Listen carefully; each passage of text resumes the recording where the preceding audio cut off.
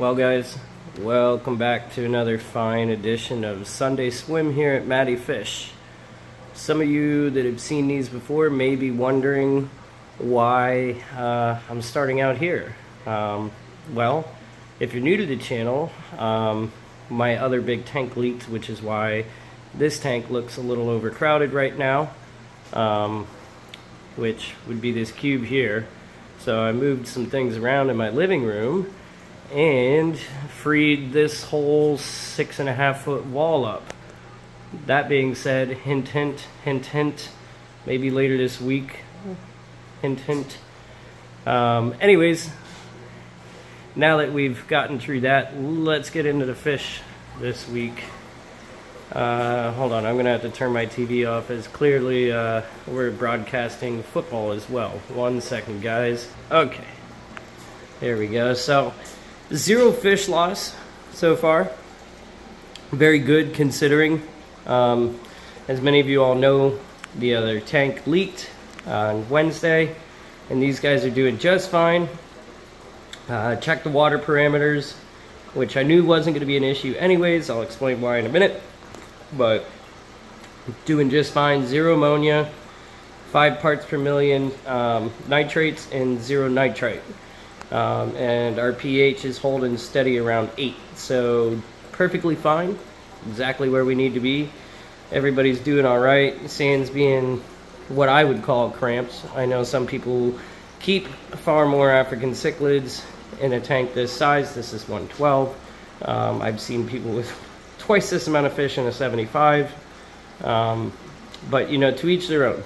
To me, this is crowded. Some people would agree. Some people might say no. Uh, to me, it's crowded, um, which is why I found a solution. Um, but again, hint, hint, we'll talk about that later this week. So stay tuned for that. Now, reason I was never worried about the level of filtration on this tank for this.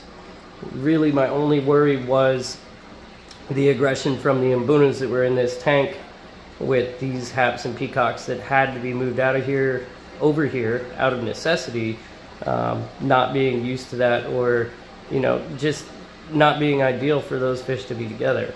Um, but filtration wise, so we have the 110 hang on the back over there, which is strictly just for extra polishing purposes that was already here.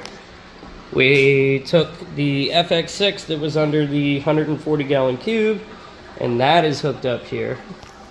And then, of course, as most of you also know, down low we have our big sump system going as well.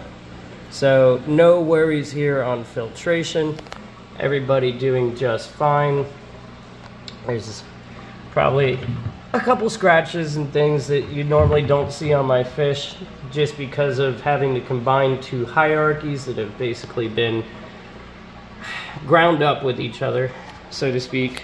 Um, pretty much all of these fish have been in their own separate hierarchies with each other uh, in the two separate tanks since they were under two inches long. Um, if you've been following this channel for that long, which has been a few months now, then thank you very much. And if you're new here, um, we're all about growing this channel and watching these fish grow together and, you know, continuing on this cichlid journey.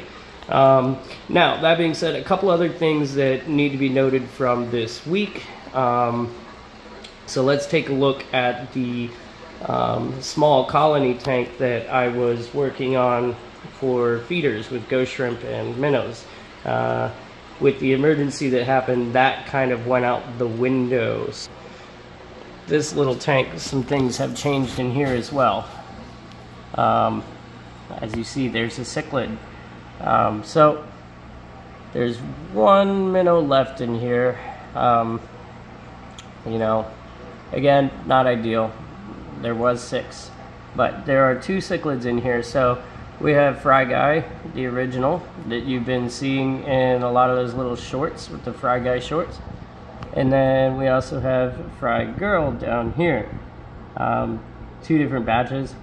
But I just put them in here because these little guys, I know if I put them into 112, they would go and hide in the rocks where all the mbuna that were already in there uh, before I had to combine after the leak um, already have established territories. And, you know, I have a fair idea of who these fish came from, and I really, you know, want to see what they're going to end up looking like. Um, and I didn't want to take a chance of anything happening with them.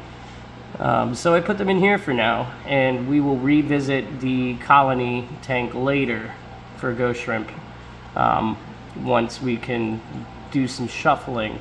But for now, these guys are doing just fine in here. They're living their best life. Probably less stress for them, um, so they can grow up a little more. But Fry Guy is out of the jungle right now.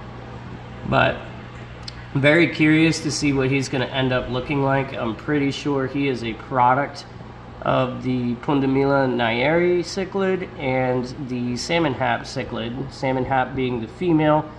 Um, I think that Fry Girl here, which again, these guys are really young, so Fry Guy, Fry Girl, maybe not, you know, one day, but um, TBD on that one. Um, but I really am curious to see what a cross between the salmon hap and the Pundamilia nyererei is going to look like um, and whose traits are going to get what, especially because these are from two different batches. Um, I can say that without a doubt. And also, when I was draining down the cube over here, once it did leak and it got really low, I'm not going to be able to find them for you, but down in the sump down there, um, there are three brand new fry that couldn't have been a week old, if that. They minuscule. I'm talking like a quarter inch. So I put them down in the sump to give them their best shot. Um, they probably went and hid inside all the bio. We'll see what happens there. Not sure. But for now, everybody's doing well. And, um, you know, I think given the scenario, this is going about as well as it could have gone for now. Um, temporarily, this does work. Long term, definitely not ideal. Don't want to mix some mbunas with peacocks and haps as much as possible. Sometimes you can get away with it. Some people do it. Some people mix different cichlids that shouldn't be together. Sometimes it works, sometimes it doesn't. But, you know, as a lot of us like to say in this industry when you're keeping fish, is that it will always work until it doesn't. And you need to realize that there's a strong possibility in a lot of cases that that day that it doesn't is absolutely going to come. So again, that's why this is temporary. That's why we have this big old free space of wall over here. Hint, hint. I will see you guys some point in the middle of this week and we'll talk more about what's going on over here. Don't want to kind of reveal everything yet, but I'll keep hinting at it. So until then, enjoy this fine edition of Sunday Swim. And while you're at it, if you were kind enough to watch until the end, then let me know what you think is going on over there outside of the obvious. But take your best guess on what we're going to do. And um, yeah, so thank you guys for tuning in to another edition of Sunday Swim. And I will catch you back up a little bit later in this week. And have a great Sunday, everybody. Go Birds.